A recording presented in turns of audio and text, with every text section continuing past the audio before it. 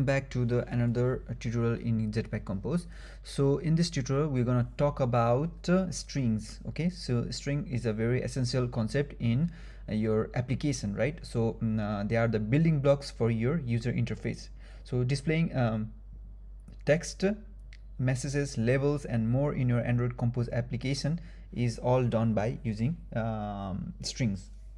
Like uh, but managing these strings is very crucial and um, especially in your application because whenever your application grows uh, you are not gonna mm, just uh, mm, have to manage the string for one language but you can have to manage the strings for different languages you know? So um, so obviously so in this, in this article um, this tutorial that I will be focusing on will uh, we will guide I mean like I'm gonna guide you to all the essential concepts for string management in your android uh, applic uh, compose application project. Okay so getting started with the string resources.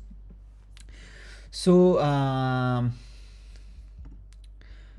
okay so yeah this is a simple uh, as you can see here in the figure this is a simple um, uh, compose uh, screen that I have uh, created that is of um, text okay so my text uh, like I have just previewed my formatted text and my plural text uh, but I can also preview my so uh, background uh, to like my text uh, I can also show preview my so background to uh, my composable screen. Okay so I cannot render here but the interesting thing is like I just need to yeah uh, so I preview my text and um, my formatted text and my plural text.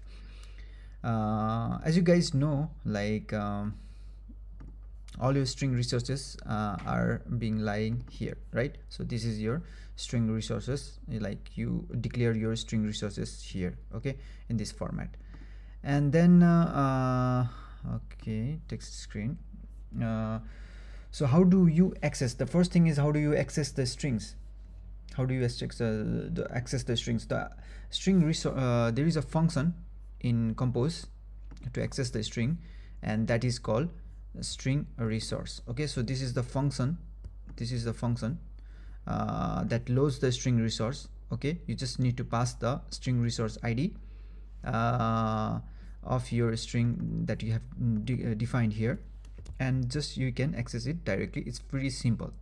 Okay um, uh, so this way you just retrieve the strings from the resources uh, in your compose code. Okay so you just need to pass the simply uh, the resource id of a string the xml file uh, as a, a uh, xml file a string.xml file as a as an argument. Okay so um, the basic is every string displayed in your application should reside in a string resource file here.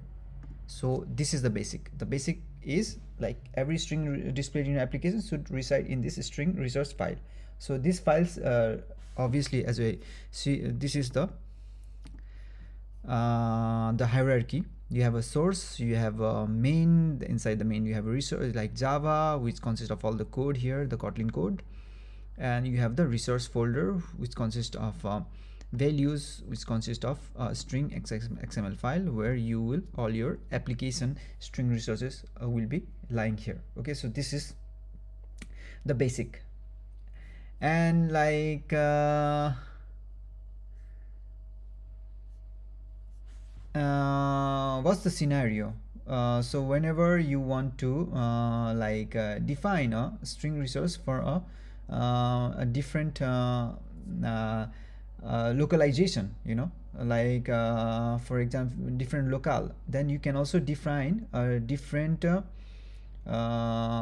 string for your Italian locale like for example if you want to declare a string resource value for uh, Italian then just you need to define values.it and just pass the resources here. Okay so this is the uh, another way of uh, defining a string resource. Okay here.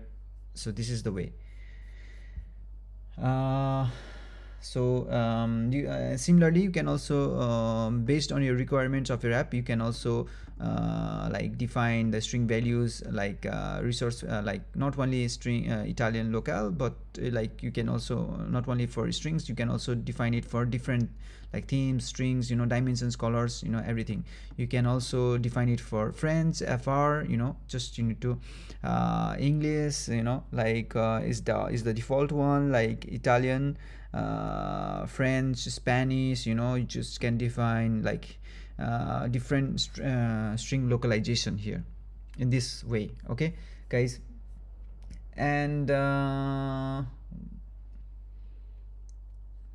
and what else is like um, you can also uh, do the formatting with the text like I will just uh, uh, define a format here. So just can pass the uh, like uh, string formatter in this way. Like you have this uh, compose name that I have uh, passed the formatter in this format okay? Uh, we can use a string formatting with for with percentage s. You can also define percentage d for integers f for floats but for the moment I'm just passing string formatters and so this will enhance your string by incorporating placeholders for dynamic content. Okay this is especially done for dynamic content. Okay so uh, whenever your compose uh, like name is dynamic like just name is passed from as a value here okay then you just can do the formatting string in, in this way okay.